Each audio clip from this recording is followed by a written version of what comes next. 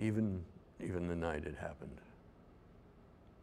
I uh, I had so many second thoughts about it. I remember standing in the bathroom and thinking, "This is this is crazy. I've, I've never done anything like this before. You know, I don't even have a criminal background, uh, but I was drinking to build up some kind of feeling where I could I could take care of this." I hear the uh, the front door, the knock. Uh, she opens the door. There was some chatter between the two of them, and then I hear this click, click, click, click, click. It's the loud snapping from the stun gun. This stun gun was about that long and about that big around. It didn't work. I came out and I had the pistol wrapped in a towel. Well, she looked at me and I could tell she was scared. He looked at me and that's when he said, what, what the hell's going on or something like that. And that was when I just raised this one and fired. Where was he struck? Side of the head, right here above the ear. He started to fall. He went down slowly. His head was leaning back like this and fluid was running out of the wound. Uh, Harry came in and said, uh, he's not dead. You have to shoot him in the heart. I said, shoot him in the heart. I just picked up the gun and shot him in the head again. It was somewhere around in here again. What happened with the weapons?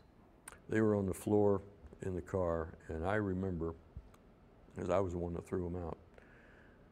We were on a on a bridge. Harry had stopped on a bridge because I remember seeing the uh, the rails, and I, I took everything and I threw them over the rails.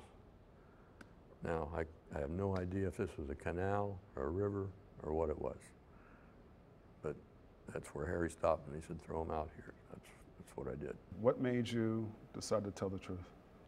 I was convicted and sentenced. it makes a big difference when you're looking at life in prison. And I realized that uh, I'm taking the fall for everybody here.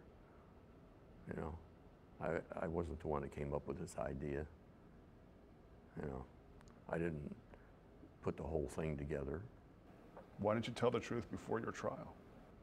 Well, I wish I had. I, uh, to be honest, I didn't think they had any evidence, which they didn't. They, they couldn't put me in Florida or Barbara at the time. They, uh, they had some bones, but they didn't know how the, how the guy died. You know, I guess they never found his skull, so they, they couldn't see any, you know, bullet wounds or anything. Um, there were no witnesses. You know, they had no evidence. The only thing they had were the two ex-wives.